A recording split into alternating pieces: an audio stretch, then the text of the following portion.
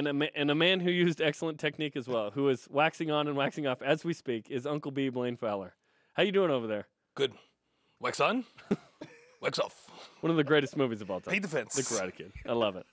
Okay, do you believe that BYU is ready to uh, reap the benefits of the first seven games, which were really tough, and which were one and six, to win six in a row? Do you think they can win six in a row and get to a bowl game?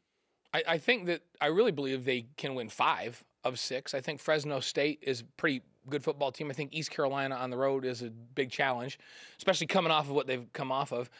I actually, if BYU comes away with a nice victory at East Carolina and then they beat San Jose State, I feel good about Fresno State because I feel like they could get some positive momentum because right now confidence is not something that abounds on this football team. And I think they believe they can win, but if they get in games early and they get down, you know, do you start to have some self doubt? And so I think these two games are really, really important.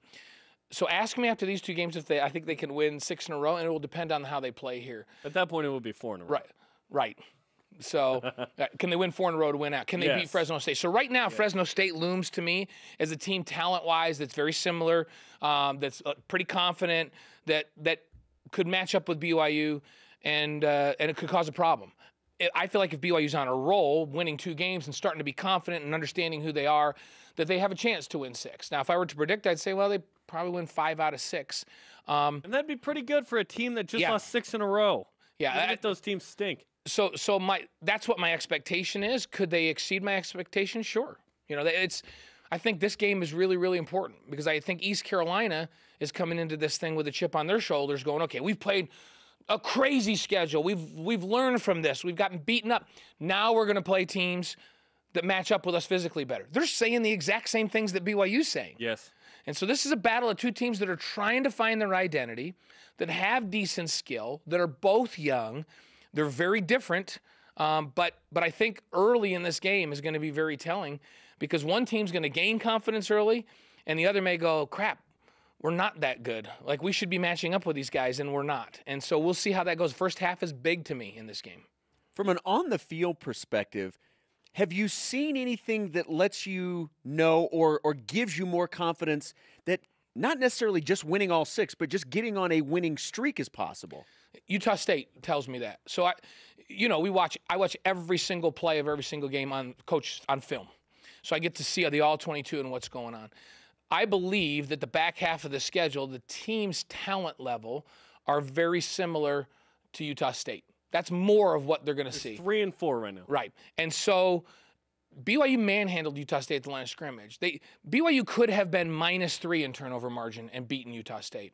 So BYU wants to run the football. In order to run the football, you have to be able to control the line of scrimmage. They did that against Utah State. So my hope is that against these teams, when they don't have the kind of speed and size that Mississippi State or LSU or Wisconsin has up front, or even Utah for that matter, that they can they can match up better. Now I, they match up okay with Boise State. They didn't get manhandled, but Boise State's execution was at a much higher level than They're BYU's was. clean, they, they were so good and so confident. They've got a veteran quarterback in Rypien that played well, and so but. The, and people get this wrong. I said last week after the game that that game was only the second time this year that I felt like BYU couldn't compete physically. And then, you know, the people that tweet out what we're saying said this is only the second game that BYU couldn't compete. They forgot to put the physically on the end. Minor detail. Right, minor detail. I didn't say they competed with LSU. I didn't say that, that, you know, in these games that they've lost, physically they didn't get beat up at the line of scrimmage and just lose every single solitary one-on-one battle. They had a lot of assignment errors against LSU in the wrong gaps defensively, you know, drop balls, things like that. Um, Wisconsin just beat the heck out of them at the line of scrimmage. Mississippi State did the same. Very discouraging. Um, but that's not going to happen the rest of the season. They're not playing anybody that's just going to manhandle them at the line of scrimmage, physically beat them up. So now it becomes an execution thing. And execution is about confidence and believing in what you're doing. So these next two games are really important. They, they got to go out against East Carolina. Physically, they're going to match up just fine. In fact, they probably should have an advantage up front. East Carolina can't stop anybody from running the football. And I know that BYU is like 125 in the country and rushing offense, but that's what they want to do. And we saw a glimpse of what they can be against Utah State running it. So if they can go out and dominate the line of scrimmage, um, they have a chance to, to play well and control the clock and do those things against East Carolina. They can win that game, but they can't turn it over a bunch of times. They can't have a huge execution uh, issues. And so that's my big question. I don't know if they can do that. They haven't shown that they can do it, but they've played against superior talent most of the year. You know, and so now they got a chance to match up. If they can keep things clean, certainly they, they can get on a roll here. And I think these these two games, especially this one coming up Saturday, are important. Meanwhile, East Carolina, as we talk with Blaine Fowler here on BYU Sports Nation, they've played a tough schedule too. They Yes. played James Madison, the FCS national champ. By the way, College Game Day was there last week. West Virginia, uh, Central Florida, South Florida. They'll play Memphis later, who's ranked now. That's a tough schedule as well. I had to do a double take on some of the statistics with East Carolina. I can't believe this, Blaine. They're giving up 50 points a game and 600 yards, worst in the country in in points and and yards. If BYU can't get it going this week on offense, then it they they just can't do it. Well, some sometimes things are about matchups. Now, here's the good news, because I'm looking at, I'm, I'm trying to break it down, and I'm going, well, maybe they're really, really horrific in pass defense, but they're decent in run defense, and BYU wants to run the ball. That would be a bad matchup. No, they're bad in both.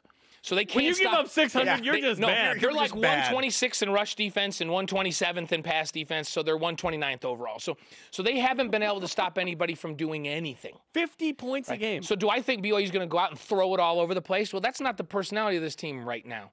I think they'll maybe have more success in the past game that they had. To me, the key is can they push them around? Which, if you go watch them on film, other teams have just pushed them around defensively. They pushed their front seven around and they've been able to run the football. Mainly in the second half too. And, and here's the thing: East Carolina, they throw it around. yes. Like they throw it around. They good on they offense. spread it out and they get the ball and they distribute it to multiple receivers and they get it out. But remember, they're they're playing from behind in almost every game they've played in. So it's Yes. just like nothing to lose. Let's just throw it all over maybe soft place. coverage Right. potentially. And so so and they racked up a lot of yards in second half of games trying to catch up throwing the football. And so so for BYU, I mean it's a big challenge. This is different than than anything they've really faced. A team that really hasn't run it that effectively, but they've been throwing it because they've been behind. They're going to spread you out and throw it. So, so BYU has to be really disciplined in their coverages. They got to keep things in front of them. They've got to rally, make them throw the check down route, and then rally and get in a three yard ball. That's what you got to do because they're going to complete balls. East Carolina is going to complete balls. You can't let them get home runs over the top because those are game breakers. And then for BYU offensively, you don't want to get in a scoring match with these guys. You don't. You don't want to get in that a, ain't gonna work for no, BYU. because BYU's not prepared. They don't have experience this year in those types of games. So BYU's best bet is to run the football, to get in the huddle, to force the. East Carolina, they're not going to be good offensively unless they can get a rhythm. Throwing teams need to have rhythm. If they're sitting on the sideline for extended periods of time while BYU grinds it out and gets first downs and then goes down and score, now they're going to come back out. It's going to be like they're starting all over again on that drive. That's the kind of game you want against these guys. You want to control the line of scrimmage. You want to run the football. You want to play action pass and get some big plays over the top and not give up big plays. But most important thing for BYU, period, in these last six games, they have to figure out a way to protect the football and not turn it over. They can do that. If if they can do that, then they should have a chance to win every game because physically they're going to match up. If you're minus one, minus two, minus three in turnover margin, now you're you're giving yourself a chance to lose in every one of these games. That can't happen. So that's at a premium in the back half. if the objective for the BYU offense is to just get better at execution, and as you mentioned, that comes with experience. It's a, a product of being confident. Where, how much of an improvement do you expect to see execution wise coming off of the stretch that we've seen from BYU? Well, it's Utah State game. I saw a major jump forward um, in in the way the line blocked and the way they ran the football, but the turnovers were just unbelievable. I mean, how many times does that happen over the years that a team has minus six in turnover margin in a game? It just doesn't typically Crazy. happen. And they were putting the ball on the ground. And, then and I felt like they had a step backward against Mississippi State, but it was because, as I mentioned, for the second time this year, I felt like they got manhandled on line. Physically, they got beat up. So that's a hard one to judge. It's hard to execute when you can't win one-on-one battles at all, when you're not holding your own up front so I, I think we're going to see more like what we saw against Utah State over these next six, especially this week, where they, they can make plays at the line of scrimmage. They can create seams in the defense to run the ball. They can get receivers open and protect the quarterback offensively. I expect them to take a big step forward. And and as we've already documented, you guys have been talking about it this morning, East Carolina has struggled defensively. This is not a team that's coming in going, hey, now here's a team we can stop in their minds they're telling themselves hey this is a this is a one in six team just like us we can stop this team but if BYU moves the football early and gets a couple of touchdowns they're going to go man we we can't stop anybody I mean, that, those doubts. far, that's yeah, true. Those doubts start to come in. Um, and so, two teams with a fragile psyche right now. Mm-hmm. Early in the game is important. Um, and, and I think that BYU needs to win the line of scrimmage, and I think they can win the line of scrimmage against this football team. And then defensively, when you're always at risk when teams are spreading you out and throwing it around, that a three yard throw turns into a 70 yard touchdown. They just can't do that. They've got to be sound and they've got to keep leverage. So the outside guys got to stay outside. The alley runners got to stay in the alley, and the inside guys got to go inside out. So they're not getting one on one matchups in the open field and having a risk of missing a tackle and having a guy go. Three guys minimum rallying to the ball every time, keeping leverage. And you know what that is? That's trust. You have to trust the guys next to you to do what they're supposed to do. And too many times this year, when BYU's gotten behind or they're getting beat up by these really good teams, we see guys getting out of their assignment and going, oh, if I don't get inside on this, my guys aren't going to make a play. I got to go make a play. And then the running back or the receiver bounces it outside and they get a big play. And it's just like you have got to trust the guy next to you. And and we have to see that from BYU moving forward. Because now if they trust one another, they're not going to lose all these one-on-one matchups like they did against Wisconsin and like they did against Mississippi State. They can hold their own. Now you got to go, I know my my guy right here, my man is going to do his job. All I got to do is my job and and we're going to win. And that's the mentality they have to have here moving forward because they're not going to play another team like Mississippi State and they're not going to play another team like Wisconsin. Uh, they're not even going to play another team like LSU. If BYU fans are funny to me. LSU goes out and loses to Troy, and they play horrifically. They turn the ball over. They just can't get going. And everybody says, man, LSU is horrible. Look at BYU lost to a horrible team. Guess what? They're ranked again this week. Yeah. They're ranked again. They just they beat a top Florida. 10 team. They beat Florida, and then who they just beat this week? Auburn? They beat Auburn.